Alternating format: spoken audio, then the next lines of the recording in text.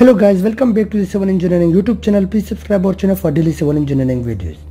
In today's lecture, we are going to differentiate between the normal stress and the shear stress. I will explain this with the help of an example so it will be more easy to understand. Now first of all, what is normal stress? It is a type of stress that creates inside the body when the load applied perpendicular to the cross section of the body. For example, if this is any body or object. Here is another is another object or material. So when I applied the load for example this is any tension load applied of any magnitude but this load applied perpendicular to this object and it makes a 90 degree with this object.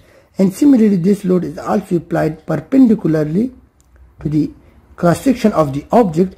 So then this load will create the stresses inside the body which will be called as the normal stresses and there are two type of the normal stresses. One is the compressive stresses. And the other one is the tensile stress. So this one was the tensile stress because the load was acting in a tension direction. It created tensile stresses inside the body.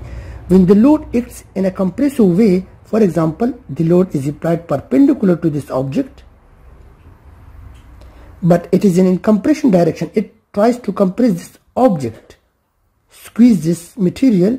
So what we say that this load is known as the compressive load and the stresses created inside this object will be compressive stresses.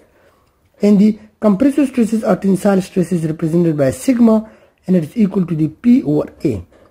P is either compressive load or tensile load and A is the area of the cross section. For example, I take the cross section of this one. So it will look like this and it may have any height and may have any width of the beam or column.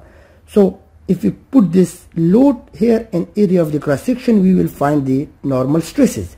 But this normal stresses should be kept in mind that it is always created due to the load acting perpendicularly to the surface of the area. Now the second type of stress is the shear stress. If I consider this is in object 1 and this is in object 2 and if I apply the load here P and this object is a tension load for example so if I draw this object here in a more detailed way this object will look like this and here this object will look like this. So this is my second object and this is my first object. So under the application of the tensile load this area which is being shared by the two material by the two object here this area has been shared. We can see here if this is in width of b and let's suppose this is the another dimension of the object which they have shared is let's suppose w. So the load which create stresses inside this material is due to the shear load.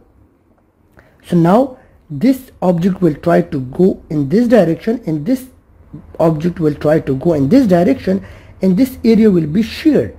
So the stresses created inside this these two objects will be known as the shear stresses because the area has been sheared here. That's why it's known as the shear stresses. It is represented by tau and it is equal to the P over area where P is the same load and tension. For example while the area A is the B here is the width of this area of this section which is being shared and W is the another dimension of this area. So B into W. So in this kind of stresses the area should be not same as the normal stresses. It was quite different. There is no such two object includes in this normal stresses while in case of the shear stresses we always have two object connected to each other and they shear upon the loading. And this stress these stresses are known as the shear stresses. Hope you guys understand and don't forget to subscribe our channel for 37 engineering videos. Thank you for watching our video